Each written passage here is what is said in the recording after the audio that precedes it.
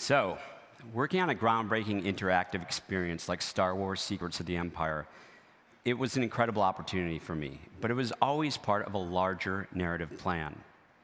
So, over the past few years, I've been working closely with ILM Lab and with the Lucasfilm Story Group to create connected stories for the virtual reality space.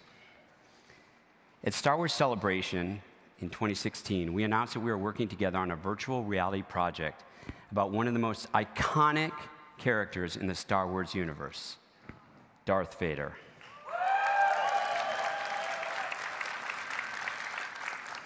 Since then, we've been working with David on this series. Oculus embraced our vision, and today I'm really excited to announce that Oculus is our premier partner for the series. Together, we will make it a reality for the VR community and Star Wars fans worldwide.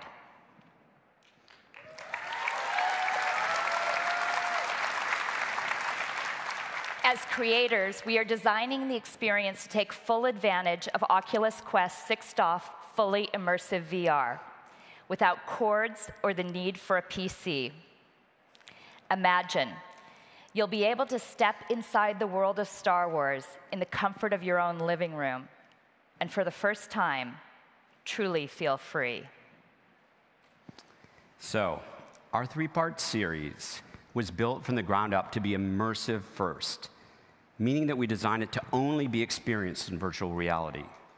The story is set up by the events of Star Wars Secrets of the Empire, and it takes place between Revenge of the Sith and A New Hope. In this experience, you'll be able to travel to the fiery planet Mustafar and actually enter Darth Vader's castle, which was first seen in Rogue One, a Star Wars story. You'll get an up close look into the mind of one of the world's most infamous villains. Even better, you'll actually get to take an active role in this as yet untold story. So, with that, we're really excited to share the first glimpse of episode one, debuting as a launch title on Oculus Quest. Let's take a look.